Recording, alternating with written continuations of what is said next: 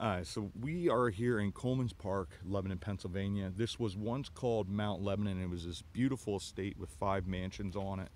A couple of the buildings still exist here. It's sort of an introduction to the series that we're going to do with YouTube Shorts. We're going to talk about the, the current buildings that are still here. We're going to talk about the five mansions that are no longer here. We're going to talk about the Coleman family's legacy. Uh, we're going to go down to the church that was part of this estate, if you will and uh, it just it's a really really neat area and a lot of history here and a lot of history that isn't here anymore but that we still know about and we're going to talk about in this series. So it'll be a lot of fun. Come along and uh, check this all out and uh, see that history is still out there. Thank you my friends